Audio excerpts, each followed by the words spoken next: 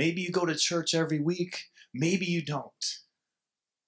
Maybe you read your Bible every day, maybe you pray every day. I remember one person told me it's my little ritual to read a small little half page devotional every day.